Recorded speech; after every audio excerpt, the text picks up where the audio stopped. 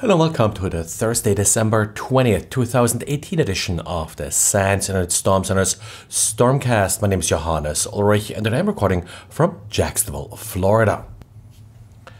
Microsoft today had sort of a special holiday gift for us in the form of an emergency update for Internet Explorer.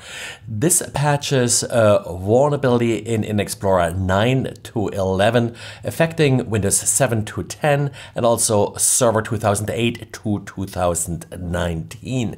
This vulnerability has already been used in the wild against targeted attacks and was originally discovered by Google. The CVE number for this vulnerability is 2018 8653. At this point, I haven't uh, seen an exploit easily available yet for uh, this vulnerability. However, today an exploit was made public uh, against an older vulnerability, CVE 2018 8631. This vulnerability also affects JavaScript and was patched this month as part of the regular patch Tuesday. So if you're planning on taking some time off next week, then you probably do want to apply this patch before you're leaving for the weekend. Now, if this vulnerability gets exploited, then one of the common payloads uh, that you may expect is a PowerShell script. And Xavier today had an interesting post about how to restrict the network capabilities of PowerShell. What Xavier is using here is NetShell. Now, NetShell is used to adjust the Windows firewall, among other things. And one feature that Xavier is using here that you can actually restrict traffic based on the binary that originates the traffic. So, for example, you could limit PowerShell to only establish connections within the local network, which would prevent PowerShell from downloading malicious software from arbitrary websites.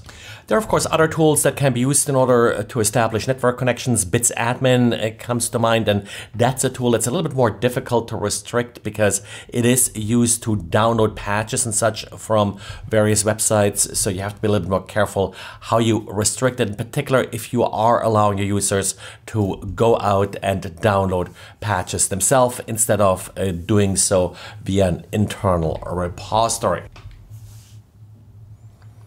And thanks to Eclypsium, we do have a new way to exploit baseboard management controllers. Now, these are the little chips that have been in the headlines uh, quite often recently.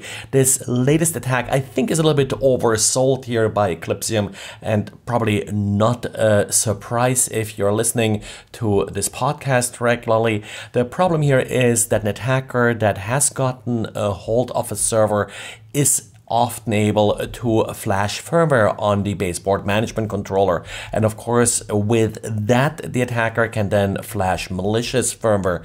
Now, usually people talk here about putting things like backdoors into the firmware. What Eclypsium proposes is actually quite a bit simpler in that they're just uh, then uploading firmware that's destructive, uh, basically overriding UEFI settings and rendering the server unbootable. Now, the headline to Eclypsium's article calls it remotely bricking a server. I don't quite agree with this, given that you first need to get a local foothold on the server before you can actually upload the malicious firmware. Attacks like this, of course, have been known to be possible with systems like IPMI and other remote control options for systems.